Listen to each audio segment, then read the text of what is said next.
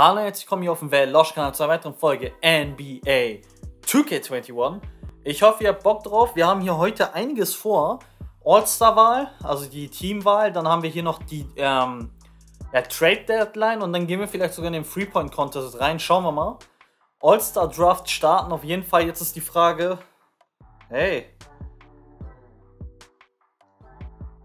Was? Okay. Okay. Ich bin gerade ein bisschen verwirrt. Ich wollte doch gerade starten damit. Auf jeden Fall sehen wir hier die Teams. Antetokounmpo, Lillard, Young, Williamson, Wiseman, Curry, Towns, James, Brown, Edwards, Adebayo, Jackson Jr. Na gut, das, das war's dann halt damit. Dann Doncic, Davis, Tatum, Beal, Embiid, Jokic, Durant, Morant, äh, Kyrie, Perry, Bonus, Hayden. Ja gut, ähm, das sind auf jeden Fall die All-Star. Ich bin ein bisschen verwirrt gerade, weil ich dachte eigentlich, wir werden den Draft selber machen, aber dann ist es halt jetzt erstmal so. So. Und ich überlege, ob ich Kevin Porter Jr. noch trainen soll, um ehrlich zu sein, weil er mir bisher spielerisch nicht gefallen hat. Hier haben wir auf jeden Fall easy going gewonnen hier. neunter Sieg in Folge sogar, also auch mega, mega nice. Übrigens morgen äh, und übermorgen, also an Ostersonntag und Ostermontag, gibt es zwei Folgen, das mal reden. Einmal meine Top 5 All-Time Starting 5 und einmal noch ein ganz spezielles Thema. Darauf könnt ihr euch auch freuen. Das ist dann fußballbezogen. Aber ich glaube, das Video würde den einen oder anderen von euch auch gefallen. Da geht es tatsächlich um Juventus Turin, um meinen Lieblingsverein. Und Jonathan Isaac ist erstmal zurück. Auch super geile Nachricht. Ähm, und das wird ein ganz spezielles Video. Bezieht sich auch auf ein Video von einem anderen YouTuber, beziehungsweise von einem anderen Kanal das mir nicht so ganz gefallen hat, aber da werdet ihr dann Näheres dann ja erfahren. Auf jeden Fall ist natürlich jetzt hier Isaac back. Also schaut gerne auf jeden Fall rein die nächsten beiden Tage, wenn die Videos erscheinen. Ich hoffe, ihr habt da Bock drauf. Ähm, Isaac ist jetzt erstmal back wie Porter. Hm. Jetzt halt die Frage, ne? Wie sehr brauche ich Porter wirklich? Klar kriegt er jetzt erstmal Minuten von Udo und Co. Eminesco auch noch mal ein paar Minuten weniger. Hm. Aber bei Kevin Potter Jr. bin ich mir eben nicht ganz sicher, inwiefern ich ihn wirklich brauche. 11,1 Punkte gemacht. Quoten, alles okay bei 23 Minuten, aber auch nicht so berauschend, ne? Ähm, Isaac ist ja auf jeden Fall back. Isaac will ich auf jeden Fall behalten. Wir sind ja auch gleich auf der Trade Deadline. Ah, machen wir mal Pick 8 so ungefähr. Irgendwie mein Auge juckt ein bisschen. Jetzt hier gegen die Yetis. Sieht nach einer sehr, sehr deutlichen Sache aus oder auch nicht. Am Ende haben wir es doch gewonnen. Sehr schön. Wir haben den 10. Sieg in Folge geholt. Also das muss man auch mal sagen. Und Isaac hier 13 Punkte, 6 Rebounds, 5 Assists, 5 Steals bei seinem Comeback und 2 Blocks. Wow, Jonathan Isaac einfach nur stark. Roger und Co. hatten hier keine Chance. Wir sind jetzt hier natürlich bis zur Trade Deadline. Natürlich wollen wir noch mal kurz gucken. Und zwar, wir gucken einfach mal, was kriegen wir denn für Isaac und Porter? Äh, für Sexton und Porter. Ben Simmons und Markinen, wow. Okongwu und Drummond. Siakam und Pope. Christoph Posingis und Oladipo. Interessant. Das wäre ein sehr interessanter Deal. Christoph Posingis, wäre der nicht nice im Team zu haben? Sein Vertrag ist aber übel, ne? Randall und Murray. Mannion, ne. Hm, wenn ich mir mal den Roster so angucke, was könnte man überhaupt tun?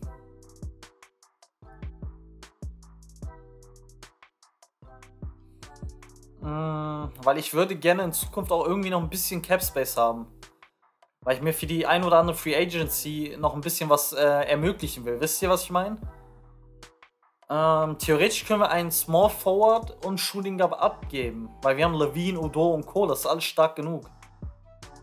Ähm, Man könnte sich zum Beispiel den New Orleans Pick sichern und Wizards oder Detroit Pick oder irgendwie so. Ich meine, theoretisch. Hm. Wir schauen mal, wir schauen mal, wir schauen mal. Sexton hat zwar eine 88, aber will ich ihn wirklich länger halten? Sexton war ein schöner Trade. Aber will ich ihn so lange halten, wirklich? Und vor allem Kevin Porter gefällt mir halt nicht so. Wenn ich jetzt mal zum Beispiel zu den Wizards gehe und mir ihren Pick hole. Boah, der Pick ist mehr wert als Kevin Porter. Okay. Shooting Guard haben sie hier nur Ramsey. Schwierig, okay. Was ist, wenn ich aber Sexton anbiete?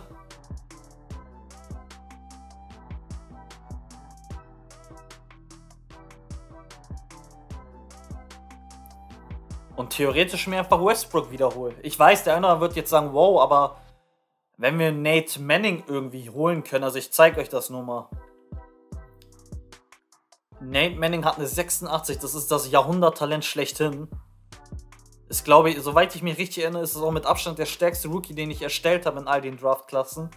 Daran erinnere ich mich natürlich. Und der wäre halt ein Monster, ne? Er wäre halt wirklich, wirklich ein Monster. Mit ihm könnten wir halt wirklich noch dominanter werden. Guckt euch das an. 30,3 Punkte, 8,8 Rebounds pro Spiel, 5 Assists, 1,9 Steals, 1,6 Blocks. 43% aus Feld, 34% Dreierquote, die kann noch besser werden, Freiwurfquote auch top. Der kann halt scoren ohne Ende, Spielaufbau A-, Perimeter B, Defense B+, Äh, Post Defense und Rebounding, okay, das ist aber vollkommen äh, in Ordnung, dass das so ist. Athletik, Basketball IQ, Potenzial A+, also er ist ein Monster. Er ist ein Monster. Aus Kentucky. Ich versuch's. Wir gucken mal, wenn wir Sexten anbieten. Dafür uns Westbrook holen, des Vertrag ausläuft. Das ist okay. Ich will ja wirklich auch so ein bisschen Cap Space haben. Westbrook läuft aus und wir holen uns dafür noch den Pick. Wollen sie nicht.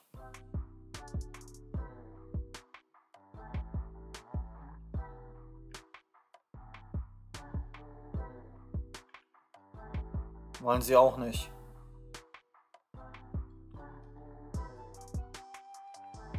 Wollen sie auch nicht, okay. Was, wenn ich euch den Zweitrunden-Pick gebe und... Oh, der Jazz-Pick ist auch einiges wert noch, ne? Ich guck mal kurz.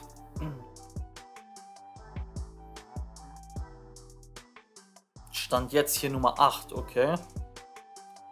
Was ist, wenn ich ihn ja, den Jazz-Pick kann ich Ihnen eigentlich anbieten, oder? Sollte nicht so wehtun. Wir geben den den Jazz-Pick und eben Sexton. Um uns eben diesen ganz, ganz wertvollen Pick zu sichern. Und wir laden uns erstmal Westbrook zu. Wow, wollen sie auch nicht machen. Netzpick ist zwar nicht so viel wert, aber... Wow. Geht doch. Russell Westbrook ist back. Ich weiß, der eine oder andere wird das kritisch sehen, aber ich will Westbrooks Vertrag eh dann erstmal auslaufen lassen. Das ist kein Problem. Das ist kein Problem, Leute, weil guckt euch das jetzt mal an. Wir werden im Sommer sowieso mit Dantley verlängern, mit Person verlängern. Maravic, Westbrook wird dann auslaufen und Isaac wird auch noch seinen Vertrag kriegen. Dann sind wir vom Cap Space ja eh wieder durch. Und dann muss man eben schauen, ob man da nicht den einen oder anderen Trade nochmal einfädelt um eventuell dann nochmal mehr Cap Space freizuschaufeln. Oder man sagt vielleicht sogar Isaac darf gehen und Udo und dann muss man eben gucken. Aber ich, mir ist der Kader ein bisschen zu breit geworden, auch einfach, um ehrlich zu sein. Wenn ich dann aber Nate Manning irgendwie kriegen kann, wäre es natürlich Jackpot hier jetzt Westbrook back. Ihr wisst, das ist auch einer meiner Lieblingsspieler. Aber wir müssen ja weiter gucken. Mark Drafts. Die Bisons halten nämlich den zweiten Pick. Ich will nämlich die beiden besten Picks haben. Und dafür bin ich bereit, den Mann hier abzugeben. Kevin Porter Jr. Kann ich eh nicht viel mit anfangen. Und jetzt die Frage, was kriege ich als Gegenwert? alten Turner, Reese und Co. Naja, ne? Backlights Gegenwert wäre okay, der hat auch nur noch ein Jahr Vertrag, ne? Wo ist denn sein Contract?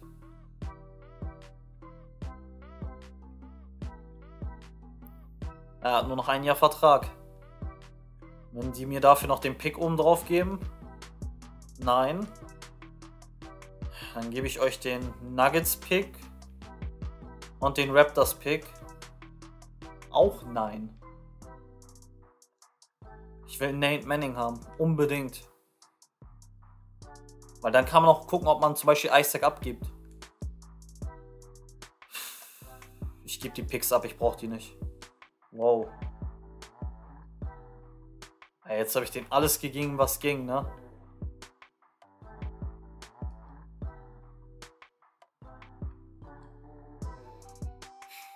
Eminesco könnte man noch oben drauf geben, wobei Eminesco will ich eigentlich behalten. Hm. Moore dürfte eben auch noch was wert sein, ne? Wenn wir dafür dann keine Ahnung wem kriegen, ist ja auch eigentlich egal. Sagen wir Valenciunas. Damn. Okay, Leute. Okay. Ich weiß, der eine oder andere wird es kritisch sehen. Aber wir haben Stand jetzt die besten Chancen auf Nate Manning. Weil Isaac, er will vielleicht gehen, er ist unrestricted Free Agent. Wir können ihn noch verlieren, muss man auch sagen, ne? Wenn er nicht mehr für Houston spielen will. Dann können wir Isaac verlieren, auch weil er mein Favorite Player ist. Aber dann hätten wir Nate Manning, wenn alles gut läuft. Zur Not mache ich da irgendwie noch ein Draft, äh, noch ein Paket ähm, um den zu kriegen. Ich will ihn unbedingt haben. Dantley war schon einer dieser Rohdiamanten. Person ist schon ganz, ganz krass. Wo ist ein Person? Hier haben wir Person, war schon was krasses. Und jetzt noch ein Nate Manning. Dantley 22. Person 21. Udo ist 23. Maravic ist 20. Eminescu 22. Nochmal die Rookies aufzuzählen und dann noch Nate Manning voller Fokus auf diesen Mann hier, auf Nate Manning aus Kentucky. Das wird ein ganz, ganz großer Player hier. Nate Manning auch überall auf der 1, ohne Wenn und Aber. Passt beim Attackieren gut auf den Ball auf, es findet seinen eigenen Wurf. Er hat eine gute Reichweite, trifft jeden Mitteldistanzwurf sehr schön. Springt bis unter die Hallendecke, fantastische Sprungkraft. Hält seine Low Post Position in der Defense nicht sehr gut, sollte, bei, sollte sich bei den Rebounds besser konzentrieren wirkt ziemlich äh, fragil, wird wohl Schwierigkeiten haben, der Kraft von NBA-Spieler etwas entgegenzusetzen. Kein Problem, das schafft er schon. Weil dann hätten wir wirklich die Möglichkeit, also auch so jetzt, wir gehen natürlich kurz rein hier jetzt. Wir haben natürlich jetzt hier ordentlich ein bisschen rotiert. Aber unsere Starting Five ist immer noch top. Die ist richtig stark. Abgesehen davon wird ähm, tatsächlich auch Westbrook starten. Ich will Levine weiterhin von der Bank haben. Aber da gibt es für mich kein Wenn und Aber. Westbrook ist dann unser Shooting Guard. Also der wird dann definitiv unser Shooting Guard sein und Levine weiter ein Sixth Man. Backlay haben wir auch noch bekommen, auch noch ein sehr interessanter Spieler auf Power Forward. Das ist natürlich für Eminesco ein bisschen ärgerlich, aber nun gut. Ähm, Valenciunas haben wir jetzt hier auch mit dabei statt Moore. Also, Dantley gehen wir mal 32 Minuten. Westbrook kommt auf 25 oder machen wir 24 Minuten. Zach Levine bleibt bei seinen 23. So, Maravic 16, Udo 16. Backley geht auch hoch auf 16. Haben wir noch 8 Minuten für Valenciunas, würde ich sagen. Ne? Oder machen wir mal 7, 7, 7. Ja, machen wir so. Haben wir eine 13er Rotation Stand jetzt. Also nochmal ein bisschen größer alles. Aber guckt euch das Team immer noch an. Das ist immer noch brutal. Und ich habe Sexton und Dings wegbekommen. Wie gesagt, ich bin jemand, ich gucke auch danach, wie fühlen sich die Spieler beim Spielen an. Und ich fand sowohl Kevin Porter Jr. als auch Sexton jetzt nicht so geil. Dementsprechend bin ich damit sehr glücklich, dass wir beide getradet haben, bin ich euch ganz ehrlich. Und wir haben eben Russell Westbrook back, hier bei den Houston Rockets. Und ihr wisst, ich bin ein kleiner Fanboy von Westbrook, oder was heißt Fanboy, ich mag ihn einfach nur sehr gerne. Und wir haben halt die riesige Chance auf Nate Manning und vielleicht noch hier George Randolph. Muss man ja auch noch gucken, ne? Was machen wir damit? Wir haben jetzt zwei ganz, ganz hohe Picks. Wir haben theoretisch. Okay, den können wir nicht draften. Ne? Damit haben wir auch keine Draft-Picks mehr in der Zukunft.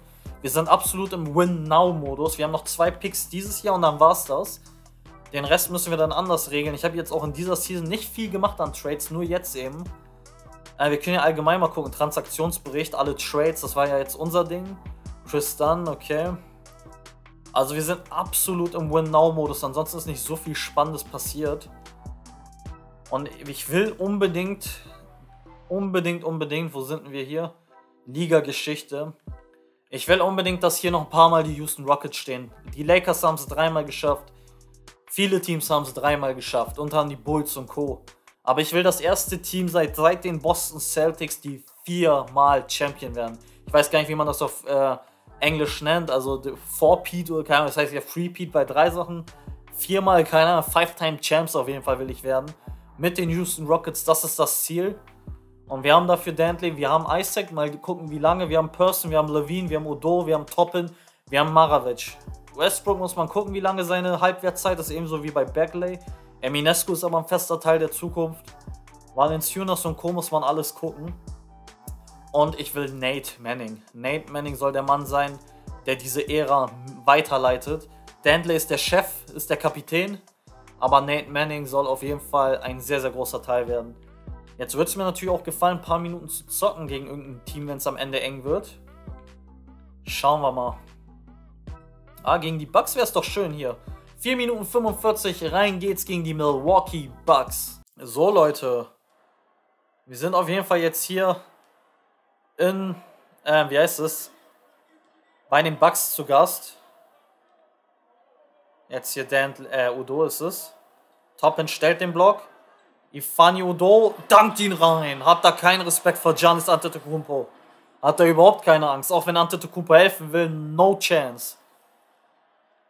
Oh yes, Antetokounmpo wollte ich ursprünglich ja auch mal holen, aber dann habe ich mich ja, ah, faul. Und sie sind im Bonus. Da hat man sich dann doch irgendwann mal dagegen entschieden.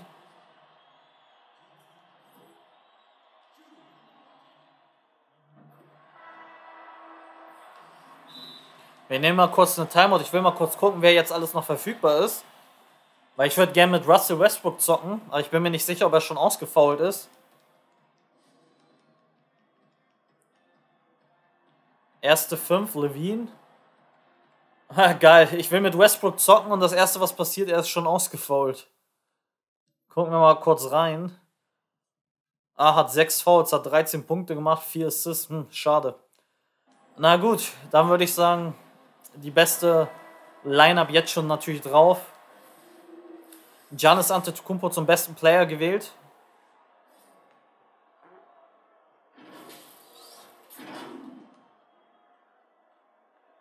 Der zweite ist auch drin. Jetzt Evan Dantley. Evan Dantley. Oh. Ich wollte ihn auf Levine spielen, das war nicht so gut. Jetzt hier McDaniels.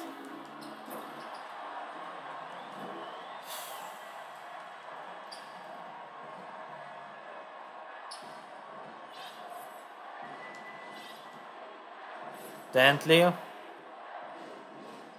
Sie doppeln, aber Levine komplett frei. Das sind die Dinger, die muss Levine eigentlich machen. Ante Tukumpo. Und das ist unser Ball. Jetzt hier nochmal Zach Levine.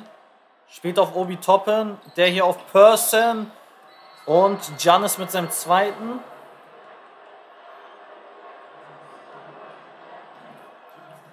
Person mit 12 Punkten und eventuell gleich 7 Punkten. Äh, 12 Rebounds meine ich. 7 Punkte, 12 Rebounds, 4 Person. Einer der wenigen der Liga, der Giannis aufhalten kann. Zumindest in der Zone. Jetzt hier Main gegen Dantley. McDaniels.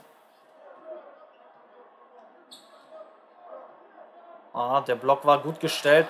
Person hat da überhaupt nicht reagiert. Was ist denn los? Er bleibt einfach stehen wie so ein Fisch. Evan Dantley zieht davon 26 Punkte für Dantley. 100, 204. Schreibt mir natürlich gerne in die Kommentare, was ihr von den Trades haltet und dass ich mich auf Nate Manning fokussiere. Vielleicht sieht der eine oder andere das ja auch als Fehler.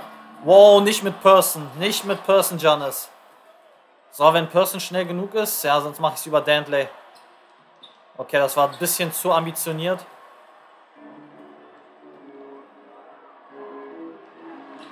Oh, Toppen war da gut dabei. Aber diese Offensive Rebounds der Gegner nerven mich. Levine, Dantley. Evan Dantley zieht da zu leicht davon. Toppen. Toppen stellte den Block. Schöner Pass nochmal auf Dantley. Nice gespielt. Dantley ist natürlich der Go-To-Guy wie immer.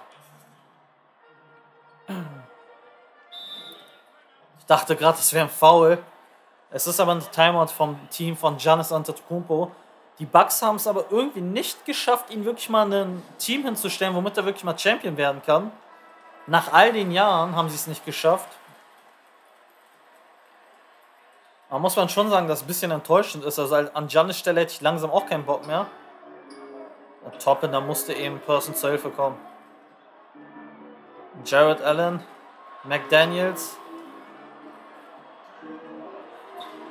Sta oh, come on. Aber der Ref sagt, ähm, Foul beim Wurf. Jared Allen mit 23 Punkten, richtig stark. Macht beide Freiwürfe rein. Und jetzt wieder der Mann hier, Evan Dantley. Evan Dantley. Oh, der Pass ging leider nicht durch.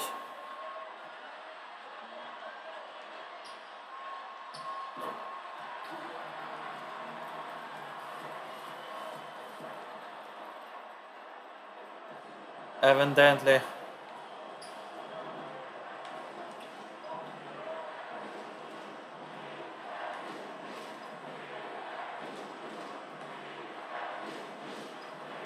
Alter, spiel ihn doch ab. Die Bugs machen es echt gut. Die Bugs machen das echt gut defense-technisch.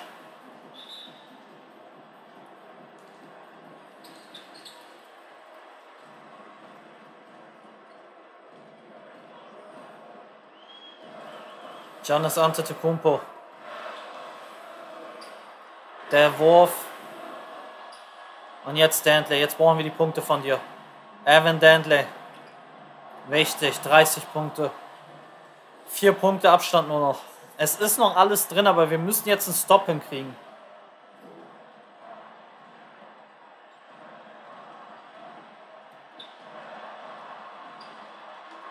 Oh, Person mit dem Block. Unser Ball. Zach Levine. Auf Dantley. Foul. Schade, dass kein End One ist, aber nun gut. Jetzt Zach Levine, mach ihn bitte sicher. Der war ziemlich weit links, der Wurf, aber er ging ja rein. Okay, nur noch zwei Punkte. Es ist ein One-Possession-Game. Und jetzt hier Giannis. Toppen muss ihn verteidigen. Schwierig natürlich. Obi Toppen. Nicht drin, unser Ball. Und jetzt ganz, ganz schnell hier. Levine auf Toppen. Ja, sehr schön. Sehr, sehr schön. Jetzt ist das Ganze natürlich sehr, sehr spannend. Wie kriegen wir es denn, ihn hier zu stoppen? Giannis Antetokounmpo. Ganz, ganz schwer. Oh, sie haben einfach rüber gespielt. Das war gut. Gut gemacht, auch noch 2 for 1.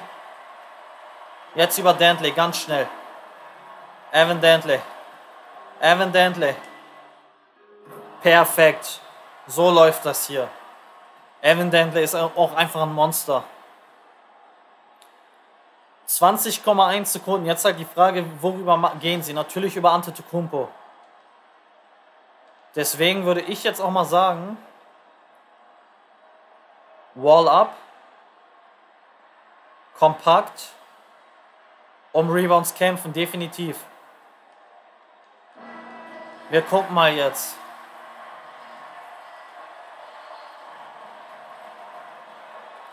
Main. Was hat er vor?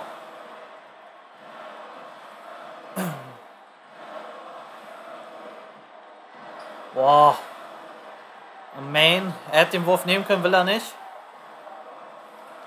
Schwierig. Der ist nicht drin. Und wir haben 0,4 Sekunden schon wieder. Das kennen wir doch irgendwoher. Wir haben 0,4 Sekunden. Ich brauche jetzt Ifani Odo. Er hat die Athletik. Ich brauche Ifani Odo. Der könnte wirklich so ein Aliub-Anspiel verwandeln. Aber er ist derjenige, der einwirft, okay?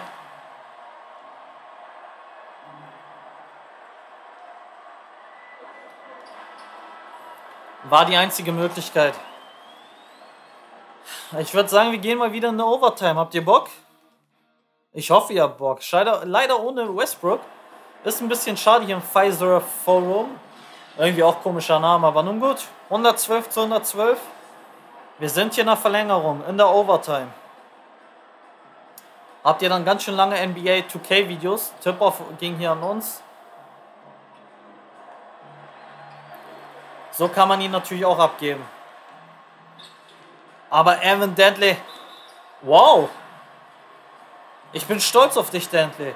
Erst diese gute Defense und dann auch hier das starke Foul gegen Antetokounmpo. Ah, komm, Janis. Ja, dribbel noch ein bisschen.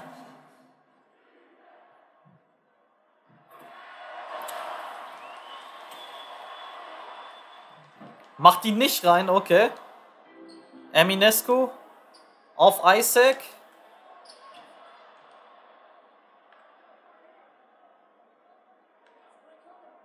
Dantley hat den freien Dreier. Oh yes. 35 Punkte Evan Dantley. Die erste Führung in diesem Spiel, okay. In der Overtime auch nicht die, äh, der schlechteste Zeitpunkt. Wäre ein bisschen wild gewesen, hätte er den so aus dem Dribbling genommen, äh, beziehungsweise getroffen. Genommen hat er den ja so. Dantley mit 37 Punkten. Ist wieder Richtung 40.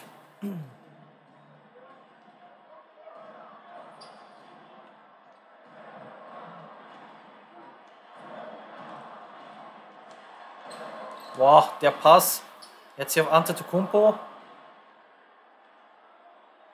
Was macht Janis? Nichts. Schwieriger Wurf, aber Main macht ihn rein.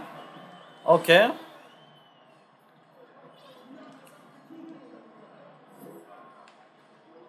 Evan Dantley versucht den. Der war auch ein bisschen schwierig, der Wurf, war contested.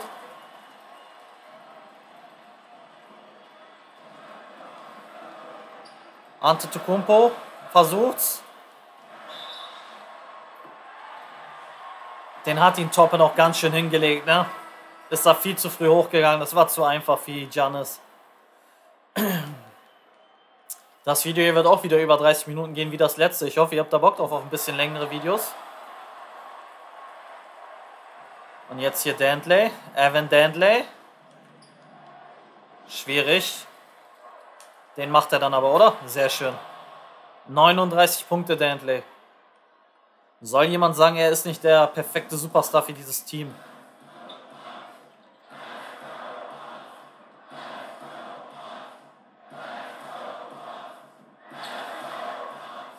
Ah, Jared Allen, der nimmt den, der kann eigentlich nicht werfen. Das ist halt der große Vorteil, wenn der Gegner so einen Center dort hat. Levine sehr schön. Zach Levine kann natürlich den Mitteldistanz-Jumper. Allen musste ein bisschen weiter wegbleiben, weil was bringt es in Jared Allen ganz nah ranzugehen? Levine hat da Geschwindigkeitsvorteile gehabt, auch wenn Levine jetzt nicht der Überathlet ist. Aber er hätte einfach mit dem Drive ihn schlagen können. So hat er es mit dem Wurf aber gemacht. Halt klassisches Mismatch. Main, hier jetzt auf Antetokounmpo. Die Entscheidung will ich mal anfechten. Ob das nicht doch ein sauberer Block war von Person.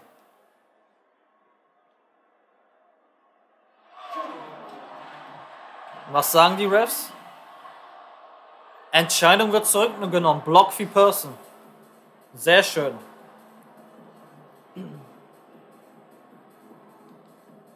Ah, der Ball ist trotzdem bei den Bugs. Schade.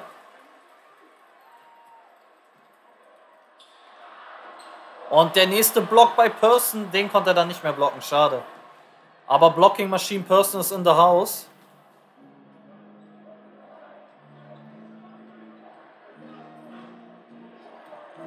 Oh, Pick and Roll. Und jetzt hat Person die Chance zum End One. Sehr, sehr schön. Wir können das Ganze jetzt zu einem Two-Possession-Game machen. Bei 2 Minuten 17 noch zu spielen ist auf jeden Fall sehr, sehr schön. Oh yes, Double-Double. Person hier bei 10 Punkten, 18 Rebounds und ich weiß nicht wie viele Blocks. Locker 5, 6 Stück. Main. Antetokounmpo. Schwieriger Wurf. Antetokounmpo mit einem ganz, ganz nice Wurf.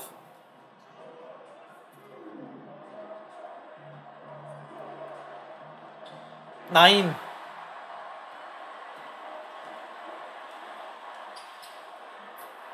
Das haben sie schnell ausgenutzt hier in Transition. Machen sie gut, die Bugs. 124, 24. Jetzt mal über Jonathan Isaac. Sie doppeln ihn, Levine ist frei. So kann es natürlich auch laufen. Irgendwo verständlich, dass du Person doppelst. Aber andererseits sollst du jemanden wie Levine dann nicht freilassen. Allen. Was will er da jetzt machen gegen Person? Wow. Wichtiger Dreier. Ganz, ganz wichtiger Dreier. Jetzt, nein! Aber fang. Ja! Isaac, was ein Block. Was ein Block von Isaac. Dantley. Dantley hier im Dribbling. Sie doppeln ihn. Toppen. Oh yes. Isaac jetzt bei, äh, Dantley meine ich bei 39 Punkten und 9 Assists. Antetokounmpo.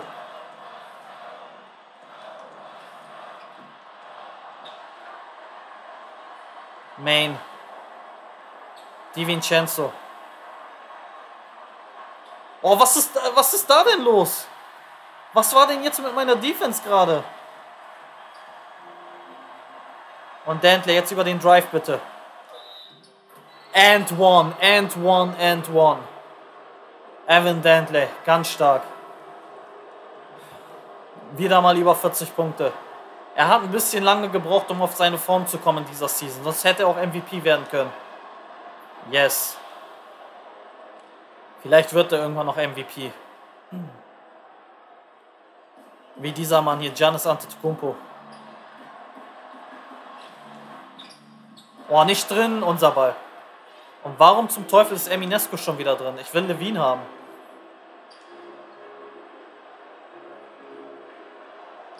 Oh. Okay. Aber das war stark von Eminescu, wie er da in die Zone ging. Jetzt hat er es in der Hand. Sein erster Punkt für heute, der ganz, ganz wichtig war. Nice. Jetzt heißt es die Dreier verhindern. Jetzt heißt es die Dreier verhindern und Defense, Defense, Defense. Chris Paul brauche ich jetzt. Udo. Maravic und Person sollen nämlich auf Paul Forward, um Antetokounmpo zu übernehmen.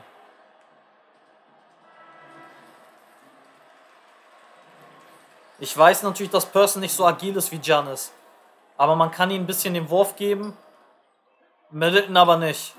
Der ist nicht drin, unser Ball. Chris Paul. Was machen Sie denn da? Maravic. Wie viel Zeit haben wir gerade bitte dazu gewonnen? Das war der Dagger. Fünf Punkte. In der Zeit. Keine Chance. Haben sie keine Chance mehr.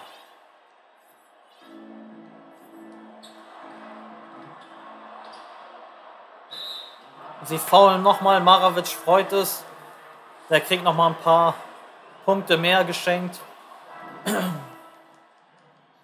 Sehr schöner Sieg auf jeden Fall. Klar, das Game ist noch nicht rum, man weiß ja nie.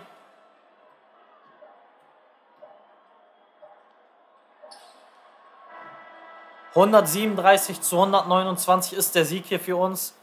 Sehr, sehr schönes Ergebnis, muss ich sagen, hier gegen die Bucks. Haben dann doch sehr, sehr gut in der Overtime hier agiert. Ist, glaube ich, jetzt der nächste Sieg in Folge, ne? Der 11., 12., keine Ahnung.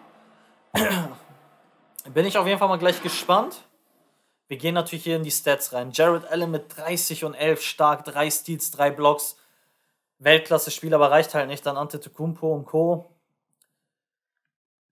Bei uns Dantley 42 Punkte, 4 Rebounds, 9 Assists. Macht einfach 14 von 18 rein. 5 von 6 Dreiern, 9 von 9 Freiwürfen, der Wahnsinn. Dann haben wir Westbrook hatte 13, wo ist Person hier 10 Punkte, 19 Rebounds, 2 Assists und 6 Blocks. Also auch hier wieder Person.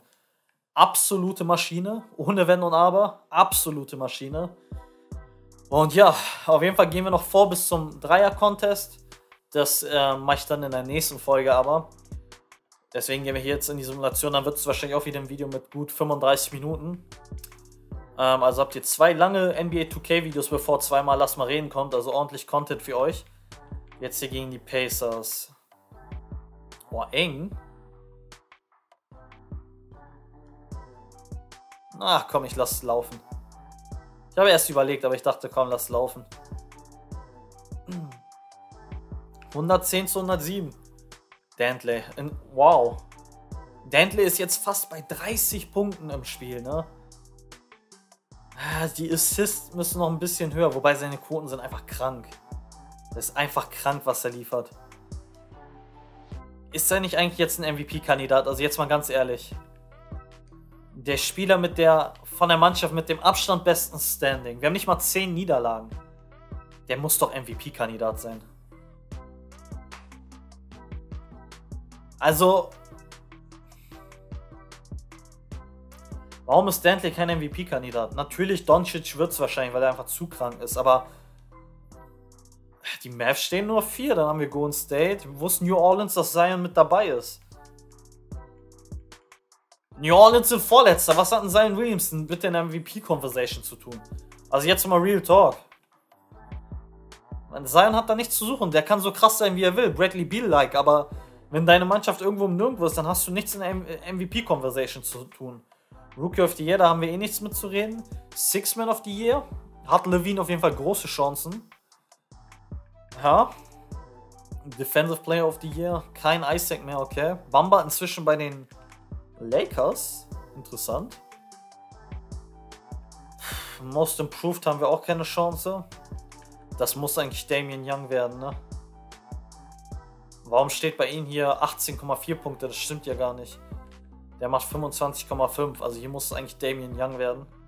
Achso, pro 36 Minuten, sorry. hier auf jeden Fall. Ja, der muss es eigentlich werden. Naja, muss man nicht immer alles verstehen, wer wo nominiert ist. Ähm, übrigens, Scouting, wir sind hier auf jeden Fall in einer guten Position. Äh, Nate Manning zu holen, Alejandro Ribas aus Spanien, auch interessant. Wir haben auf jeden Fall zwei absolute Top-Picks absolute Top-Picks. Und ich hoffe, wir landen da noch auf 1 oder 2. Ah, enges Duell hier gegen die Trailblazers, das wir aber gewinnen. Am Ende dann noch nicht eng. Und Dantley ist jetzt bei 41 Punkten. Okay, das ist auch der Grund. Er war nämlich hier, war ich nämlich auf 36 Minuten verrutscht. Deswegen war das so krass. Ja, ich dachte, er wäre schon bei 30 Punkten. Nicht ganz, nicht ganz, nicht ganz. Westbrook, 11 Punkte, 7 Rebounds, 3 Assists, okay. Und ich würde dann sagen, das war's dann fürs Erste. Ähm, ja, auf jeden Fall ein sehr langes Video, das so an die 40 Minuten ja, kratzt auf jeden Fall. In der nächsten Folge gibt es auf jeden Fall den Three-Point-Contest mit Jalen Harris, Jason Tatum, Trey Young, Cassius Winston, Tim Adelmann, den Deutschen und Luca Magic. Ich hoffe, ihr habt Bock auf Three-Point Contest und vielleicht auch All-Star Game. Also wahrscheinlich mache ich dann so ein All-Star Weekend Folge. Wird wahrscheinlich dann nochmal eine längere Folge. Also habt ihr dann drei lange Folgen höchstwahrscheinlich. Ich hoffe, ihr habt da Bock drauf. Ich hoffe, die Folge hat euch gefallen. Euer Velosch meldet sich fürs erste ab. Und schöne Ostertage. Bye, bye.